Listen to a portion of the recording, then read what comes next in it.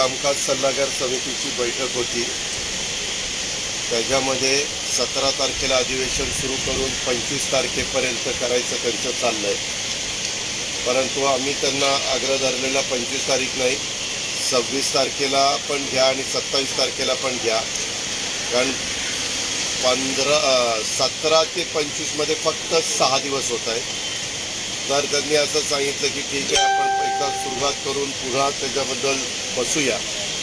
आमचा आग्रही मागणी आहे कारण हे सरकार आल्यानंतर मागचं सरकार आणि हे सरकार याच्यामध्ये बराच गॅप झाला आहे आणि अठरा जुलैला आमच्या सरकारने अधिवेशन घेतलेलं होतं तेही होऊ शकलं नाही ह्या सगळ्या राजकीय घडामोडीमुळं तर अनेक प्रश्न आहेत. विशेषतः पूरग्रस्तांच्या संदर्भातले प्रश्न आहेत. पुन्हा पावसाने जो काही सुरुवात केली आहे मी त्याच्यामध्ये पुन्हा नुकसान शेतीचं मोठ्या प्रमाणावर शेतकऱ्यांचं होतं आहे पिकांचं होतं आहे जमिनीचं होतं आहे रस्त्यांचं होतं आहे पुलांचं आहे घरांचं होतं आहे असं अनेक प्रकारचं नुकसान त्या ठिकाणी होतं आहे त्याची आम्हाला चर्चा करायची कायदा सुव्यवस्थेच्याबद्दल तुम्ही बघताय.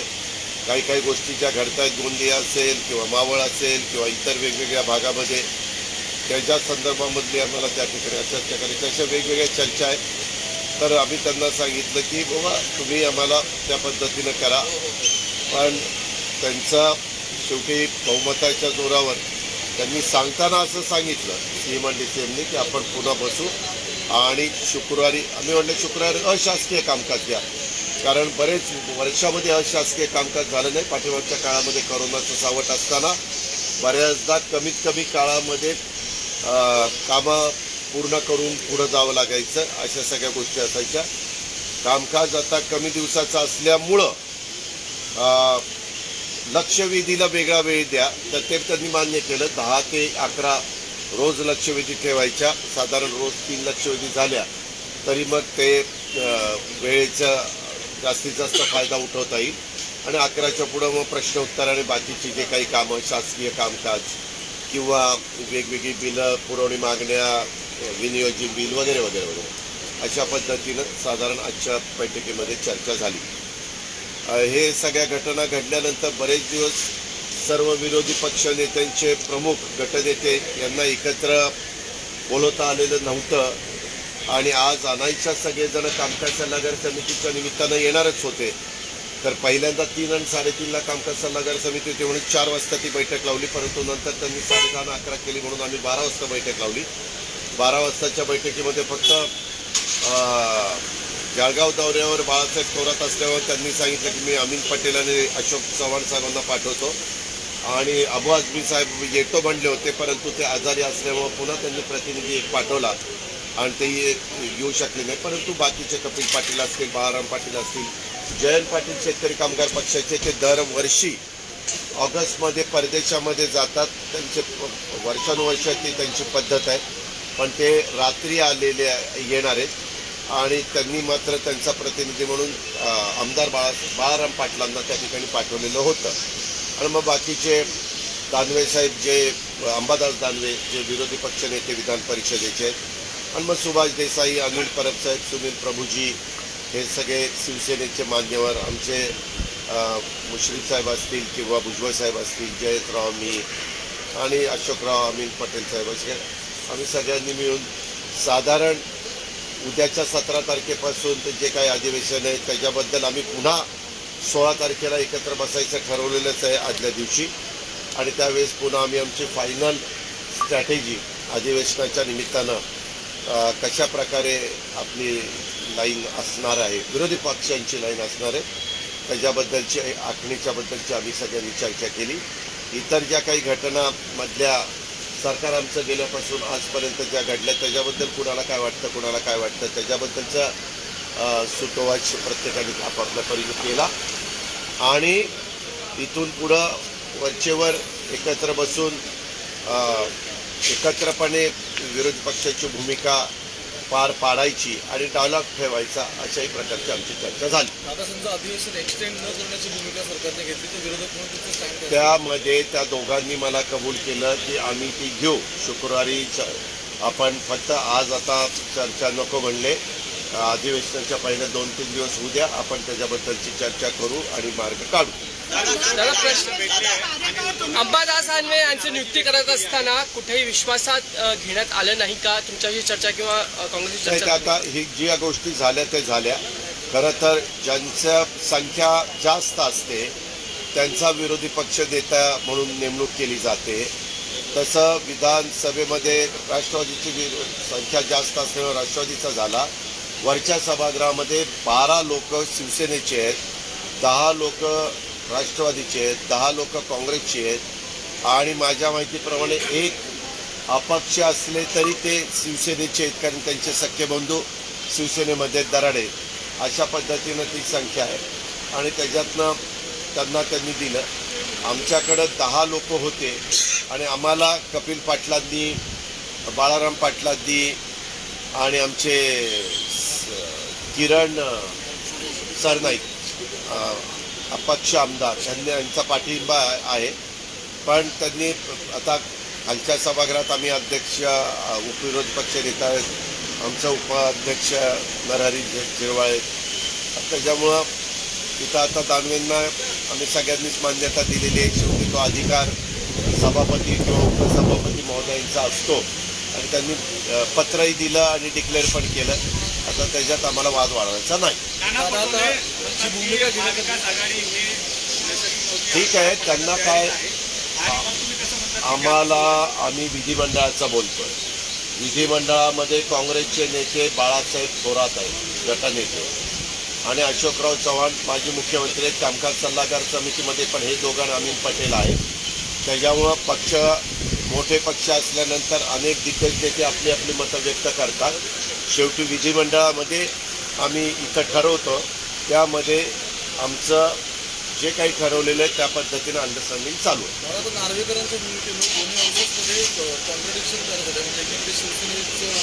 म्हणजे त्याबद्दल आम्ही राहुल नार्वेकर साहेबांना अध्यक्ष या नात्याने आता सर्व विरोधी पक्षाच्या वतीनं भेटलेलो आहे आणि आमची भूमिका त्यांच्यासमोर मांडलेली आहे. त्यांनी सांगितलं की तुम्ही पत्र द्या. मी त्याच्याबद्दलचा अभ्यास करतो आणि निर्णय देतो. सरकारने- बघितलं या आधी अधिवेशनाचा कार्यकाळ कमी असतो म्हणून तेव्हा विरोधी पक्ष टीका करायचा आणि आता हे जे अधिवेशन होत आहे पहिलं ते देखील अवघड सहा दिवस. मी म्हणूनच त्यांना सांगितलं काय झालं? पुढचा आठवडा घ्यावा तर गणपती आहे. गणपती गणेशोत्सव मधल्या दोन वर्षाच्या काळामध्ये करोनाच्यामुळं इतक्या उत्साहाने झालं नाही. एक दिवस सतरा अठराच्या नंतर एकोणीसला दहीहंडी आहे. श्रीकृष्ण जयंती आहे. त्याच्यामुळे दहीहंडी पण पुण्यामध्ये मुंबईमध्ये पिंपरी चिंचवडमध्ये किंवा अनेक भागामध्ये उत्साहाने होते. त्या मुख्यमंत्र्यांनी कार्यकाळ सांभाळल्यानंतर त्यांनी जाहीर सुट्टी केलेली आहे. सुट्टी दिलेली आहे. त्याच्यामुळं एकोणीस तारखेला घेता येत नाही. का तर या सगळ्या कामामध्ये सगळेजणं सहभागी होतात. आणि पंचवीस सव्वीस सत्तावीस नंतर अठ्ठावीस. एकोणतीसला जर घ्यायचं म्हटलं तर तीसला का एकतीसला काहीतरी गणेशोत्सव हा. त्याच्यामुळं त्याच्या आधी कोकणातली लोक तर सर्रास तुम्हाला सगळ्यांना माहिती आहे की दोन दिवस आधी जातात. त्याच्यावर त्याही ह्याच्यामध्ये आठवड्यामध्ये घेता येत नाही. त्याच्यामुळे जो काही आता आहे हे दोनच आठवडे हातामध्ये असल्यामुळं अं, नाईलाज झालेला आहे म्हणूनच मी त्यांना म्हणतोय की आपण शुक्रवारी आणि शनिवारी पण घेऊन ते दिवस भरून जा. आणि आणि शिवाय सकाळी दहाला सुरू करून रोज सहा दिवस सकाळी दहाला सुरू केले तरी एक दिवस भरून निघतो. आणि रात्री जर संध्याकाळी सहाच्या पुढं देखील एक दोन एक दोन तास बसलं तर त्याच्यातनं पण एक दोन दिवस भरून निघतात. असा माझा म्हणजे विरोधकांचा आग्रह आहे. आणि तो जवळपास त्यांनी दिसते.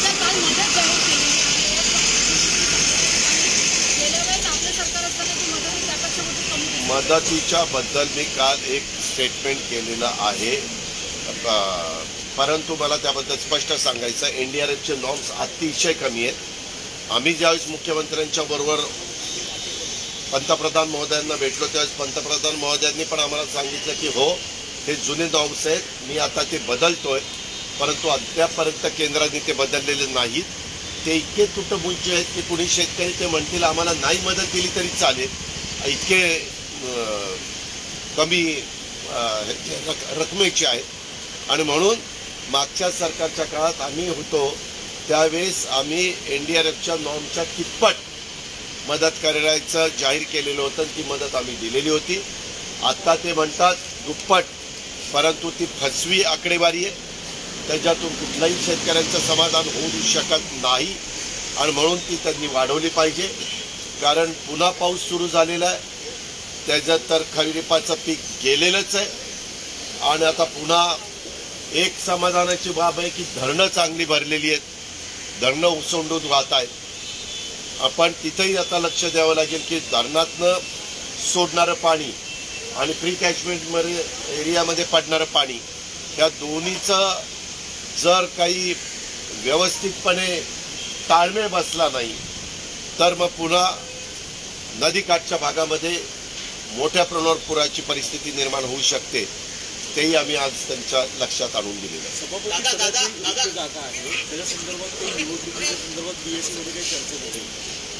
सभापती पदाच्या बद्दल मी विधानसभेच्या कामकाज सल्लागार समितीत असल्यामुळं ते विधान परिषदेमध्ये त्याबद्दलची जर चर्चा करायची असेल तर होऊ शकते. त्याबद्दल मला जास्तीची माहिती नाही. तर अजून खाते वाटप दादा कुठेही झालेलं नाहीये त्याबद्दल काय काय काय काय? काल माजी मुख्यमंत्र्यांची मातोश्रीवर आपण भेट घेतलेली आहे. काही राजकीय चमत्कार अपेक्षित करायचा नाही नाही नाही नाही. मी काल तुम्हाला काहींना सांगितलेलं होतं की ही अनौपचारिक बरेच दिवस चाळीस पंचेचाळीस दिवस झाले. तर मला वाटतं सत्तावीसची का काहीतरी कॅबिनेट होती. सव्वीस किंवा सत्तावीस मला आठवत नाही पण तो जूनची. त्याच्यानंतर आमचं दोन तीन वेळेला फोनवरच बोलणं झालं. म्हणून आम्हाला जरा भेटायचं होतं त्यांना आणि म्हणून आम्ही भेटलो. साधारण पुढं कशा पद्धतीनं त्यांच्या मनामध्ये काय आहे कसं महाविकास आघाडीनं स्थानिक स्वराज्य संस्थांच्या निवडणुकीच्या निमित्तानं भूमिका घेतली गेली पाहिजे वगैरे वगैरे अशा बऱ्याच चर्चा झाल्या. आणि काही मॅटर सुप्रीम कोर्टामध्ये चालू आहे त्याच्याबद्दल काय? किंवा इतर पण वेगवेगळ्या विषयाच्या संदर्भात काय? अशी दीड तास आमची व्यवस्थित चर्चा झाली.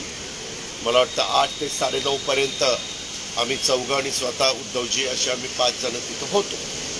तर अजून खाते वाटप रखडलेलं आहे. काय कारण वाटतं तुम्हाला? एकत्र लढणार आहात त्या संदर्भामध्ये आम्ही काल त्यांच्याशी चर्चा केलेली आहे. ते सकारात्मक वाटलेले आहेत. ते म्हणले की जिल्ह्याच्या ठिकाणी त्यांचे जिल्हा प्रमुख आणि आम आमचे काँग्रेसचे आणि आमचे जिल्हाध्यक्ष हे तिथं बसून साधारण त्यांना काय वाटतं ते ठरवतील.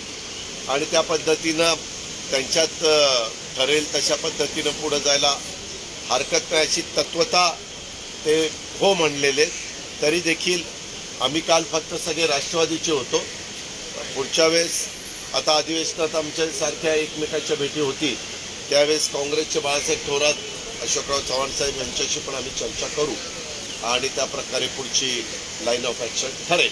तर खाते वाटप रखडलं आहे पुन्हा? एक एक पहि- आधी तर मंत्रिमंडळ विस्तार मग आता खाते वाटप सुद्धा. आणि आता का परवा दिवशी तर मंत्रिमंडळ झालंय काल पहिली कॅबिनेट झाली. सध्या सगळे बिनखात्याचे मंत्री आहेत चांगली गोष्ट आहे. त्यांना आता लवकरच खाते मिळतील का? त्यांनी सांगितलंय की कोण म्हणतंय की आता अ, शिंदे साहेब त्यांच्या ग्रुपपैकी सगळ्यांना शिंदे गटाला एक एकच खातं देणार आहेत वगैरे वगैरे अशी चर्चा ऐकायला मिळते. आता बहुतेकांना दोन दोन पालकमंत्री पदं मिळतील. कारण हे सगळे मिळून वीस आहेत. तर आपले जिल्हे छत्तीस. सहसा मुख्यमंत्री कुठं पालकमंत्री होत नसतात. परंतु अजित पवारनी पद्धत उपमुख्यमंत्री पालकमंत्री व्हायची पाडलेली आहे. त्याच्यावर हे पण मुख्य उपमुख्यमंत्री पालकमंत्री होतील याबद्दल माझ्या मनात तिळमात्र शंका नाही. आणि कानावर येते की पुणं त्यांना घ्यायचं आहे नागपूरचे उपराजधानी सोडून पुण्यासारख्या ठिकाणी येत आहेत त्यांचं स्वागत आहे. पुण्याचा एक सुपुत्र म्हणून माझ्याकडनं. त्यांनी घे घ्यावं कुठलं घ्यावं तो त्यांचा अधिकार आहे. पण दोन दोन पालकमंत्रीपद द्यायचं त्यांच्या मनात आहे. कधी कधी होतं आमच्याही काळामध्ये धनंजय मुंडेकडे परभणी आणि बीड होतं. किंवा मागं पण तुम्हाला आठवत असेल चंद्रकांत दादा पाटलांच्याकडं कोल्हापूर आणि सांगली होतं. असं होऊ शकतं. हसन मुश्रीफ यांच्याकडं पण असंच होतं. अशा पद्धतीनं होऊ शकतं. पण आता ते बसतील. मग त्यांचं खातेवाटप इथल्यामुळं अडकलंय का काय? वरनं अजून ग्रीन सिग्नल आला नाही म्हणून अडकलंय ते आपल्याला माहिती नाही. पण ते अं, होईल खाते वाटप. आपण अपेक्षा सकारात्मक करू. सारखंच निगेटिव्ह बोलायला नको. Okay okay done thank you